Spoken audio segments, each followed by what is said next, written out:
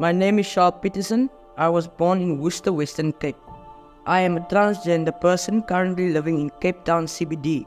Challenges I currently face is my family that couldn't accept my marriage to a woman for more than six years, that I loved and a child that wasn't my own, but loved as my own, constantly telling me it's against God's will and I'm doomed for hell.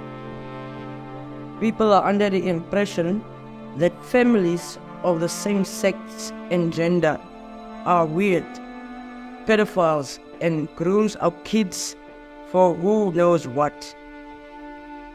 Just like any and everybody else. Hold my hand. Please support the work of Gender DynamiX by donating today.